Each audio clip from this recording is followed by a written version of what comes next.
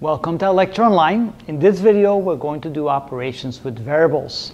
In this case, we're going to add, for example, or subtract, for example, 5x minus 2x, 5a minus a, 2b plus 3b. But what does that really mean? If you see something that says 3x, really what that means is it's 3 times x, or with other words, you have 3 x's. This is the same as saying x plus x plus x. This means 3x.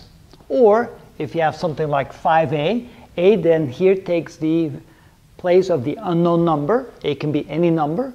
There's five of them. Therefore, you can write this as 5 times a, or simply write it out as a plus a plus a plus a plus a. Or if you write 6b, that means you have six b's. That means b plus b plus b plus b plus b plus b. There's six of them. Now what happens when we do operations with this? For example, 5x minus 2x. Well, 5x means you have 5 x's. That means you can write x plus x plus x plus x plus x. There's 5 of them. And then you subtract from that 2 x's, which means you subtract the quantity x plus x. So here we have two of them. Well, 5 x's minus 2 x's will give you 3 x's.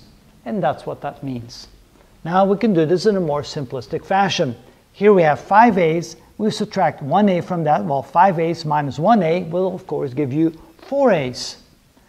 And here we have 2b's, and we add 3 more b's to that. 2 plus 3 is 5, so this means 5b's. And that's how we do operations with variables. When we have an unknown number and we have a certain quantity of them, for example, 5 of them, and then you subtract 2 of them from that, 5 minus 2 is equal to 3. If the unknown number is x, then 5 of the unknown number minus 2 of the unknown number is 3 of the unknown number. Or if you have 5a minus a, again, 5 of the unknown number minus 1 of the unknown number equals 4 of the unknown number. And that's as simple as it gets. So once you have the hang of that, on the next videos, we'll show you some examples of how to do operations with variables. And that's how it's done.